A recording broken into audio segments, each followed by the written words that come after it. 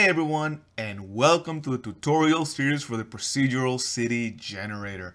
In this initial video, we're going to be taking a look at uh, just a quick introduction and a project overview. Later on, we'll do a quick start guide. That's going to be a fairly short video going through the entire process. I encourage you guys to look at that first to get a high level understanding of how everything works. And then later on, we'll be taking a look at specific tutorials, what I'm calling the deep dives into specific topics of your city. Here's what we're going to look at how you can customize the settings, how you can add your own custom models, how you can change materials, how you can basically use the asset to its fullest. Um, so let's go ahead and jump into Unreal. And I am opening the project. You should see basically the exact same thing I see when you first open it. I purposely had this uh, assets level as the default level because you want to make sure that you uh, open the project and compile all of the shaders. I get this question a lot. When you first uh, open the project, it may take a while for the project to open. That is normal. Please be patient. As you can see, we have a lot of assets. Most of them are buildings that have been uh, made by community members and that means that you need uh, you need to give the computer time to uh, compile all of the shaders. But once you're here, then it should be a lot easier to open the showcase level and um, the next time you open the project, it'll be a lot quicker. So that's the first thing I'll say is please be patient uh, as things load and compile. Uh, if you want to just pause the video, just go ahead and wait until you can actually see the level and then you can move on. Uh, really quickly here, you should see a folder called Procedural City. That is the root folder. And then as my other projects, everything is organized, hopefully in a very intuitive way. The most important folder, of course, is the Blueprints folder. And you can see that we have a bunch of things here. Uh, one cool thing uh, that I would suggest is go ahead and click here on the PCG tutorial. This is just a very simple high-level text tutorial that's going to give you an introduction to everything that there is to know about PCG. I'm not going to go through that now. But if you want, just click on the little play button here. And then really quickly, want to give you a lay of the land. This folder buildings has all of the blueprints for all of the different buildings that will be spawning in your city, including the, the categories that come as commercial, industrial, residential, rural. Then we have a subway, which is a separate system and then all of the building interiors there. You have the characters folder, which is basically what you would expect. Here's the default player character. I left it as, as a third person character and a few additional pawns, as you can see here, that spawn inside the uh, police station as part of the dynamic uh, blueprints. City containers, these are just uh, blueprints that are used to organize your city. You're going to see in the next video when I start spawning things, how things are very, very much organized in a parent and child relationship. So something, for example, like city buildings, this will be the parent blueprint that holds all of the building blueprints. And that allows you to quickly collapse and expand uh, the different parts of your city. And it keeps everything really nicely organized here in your world outliner components. We have some components that are related to Apex destruction. We'll look at that later, later on in the deep dives. Right now, this initial version is 422 to 425. So we are going to be using Apex for the destruction. In the next version, 426, I'm going to be looking at uh, adding Chaos. And I believe Apex is no longer available. So we're going to have two different versions here. Um, so right now, because 426 has not released, we are only looking at Apex. Then you have this core folder. And here's where I have things like data tables, enums, interfaces, libraries, structures. By and large, you do not want to come here. These are all of the internals. Unless you really know what you're doing, I would suggest simply ignoring this folder right here. There's nothing here uh, that's, you know, kind of front end. Interface, this is going to be the unified UI that you open up to actually generate your city. I'm using editor scripting and here are all of the different panels that are used as you can see individual panels that are that make that initial big interface. Then you have the folder main. These are really the biggest blueprints and the most important blueprints.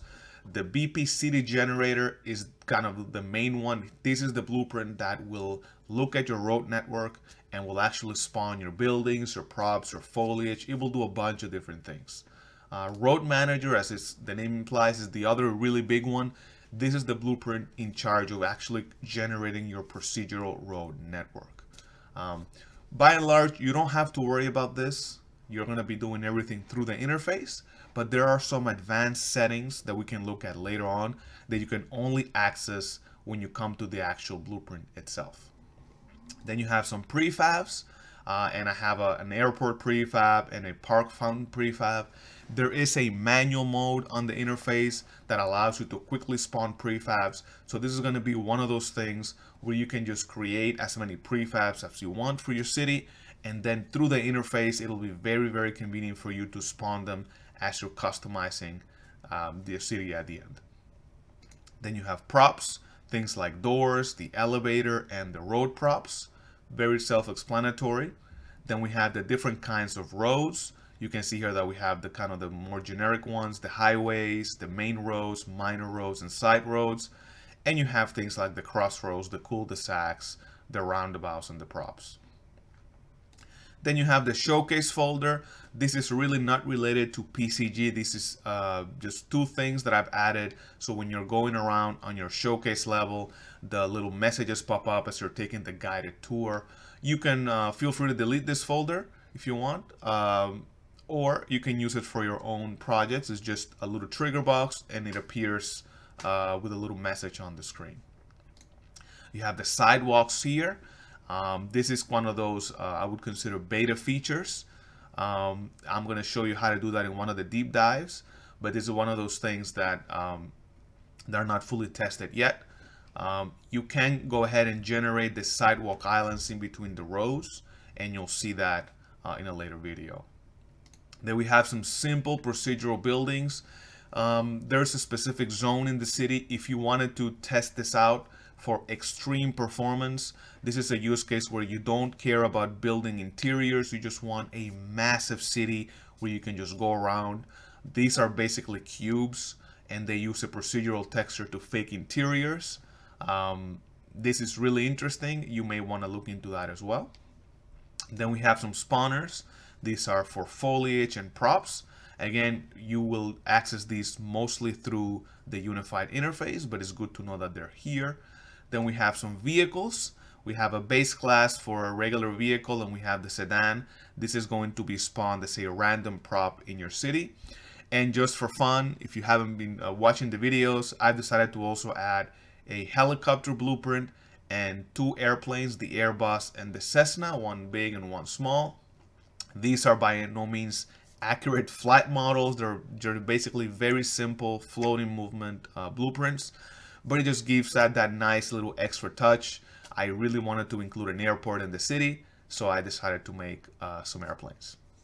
All right, then we have some widgets. Again, pretty self-explanatory. Things like the HUD for the airplanes or the HUD for the subway or the vehicles.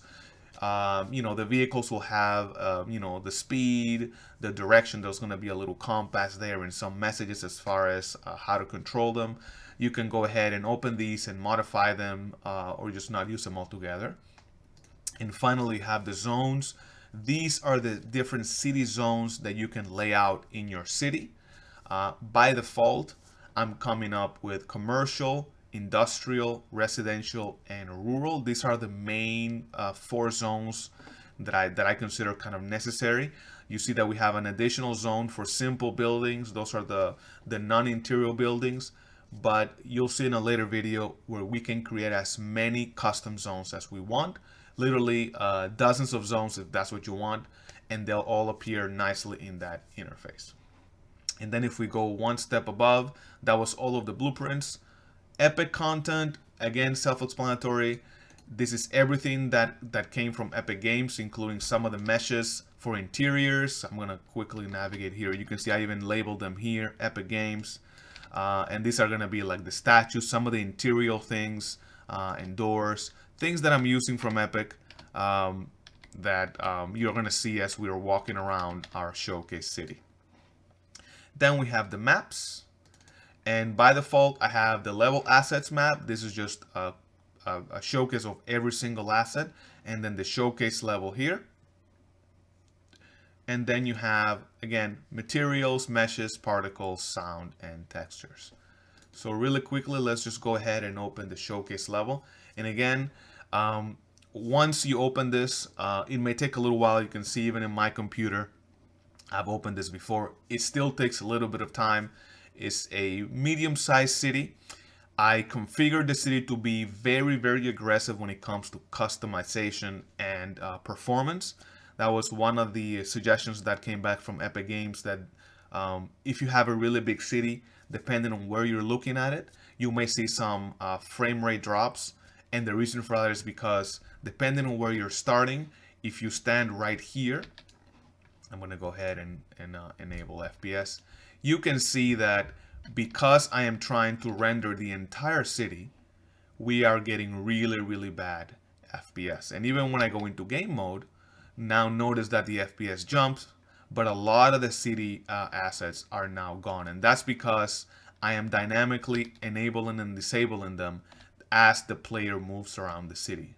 So you can see here, things are appearing and disappearing. If I kind of uh, go up, you can see that things just go ahead and disappear. So that's basically uh, playing around with the max draw distance for a lot of these elements. Uh, by default, they are very, very aggressive on this level. Um, but I'm going to show you later on when we're generating our own city uh, in the quick start guide, how you can quickly tweak those values on some of the main blueprints. And those should be uh, very easy to tune to your specs. Uh, you can see that I'm going, that I'm at the edge of the city and I'm getting pretty close to 120 FPS. So very, very good performance. And uh, as you follow the uh, arrows here, you'll see that we have some messages. So the idea would be here, uh, go ahead and follow the guided tour. As you're going around, you're going to get some messages on your left-hand side, as you see here. That should give you uh, kind of a good idea of what you can expect with this asset.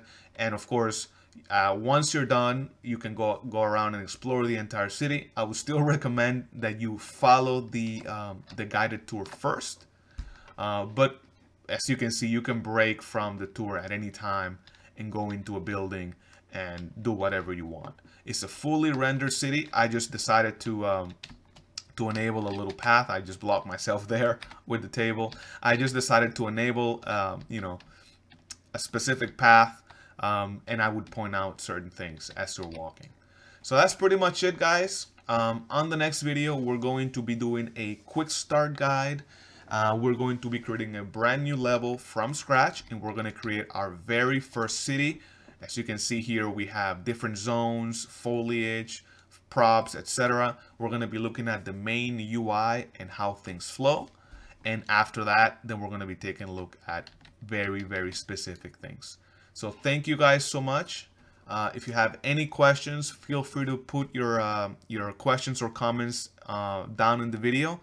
I do have a very active Discord server where I, I am very active uh, and we have a lot of other community members. So if you haven't joined, I'm going to leave a link in the description. Join.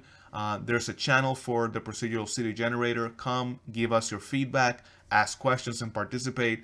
And again, I want to reiterate what I said earlier. Um, I do consider this initial release to be early access, so I really want your feedback. Uh, I do have a, a roadmap planned uh, with a lot more features coming up. Uh, and a lot of those features come from your feedback from the community. So again, thank you so much for uh, purchasing the procedural city generator. I really hope you enjoy the series and you find this extremely useful.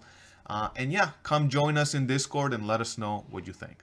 All right, guys, thank you so much, and I'll talk to you in the next video.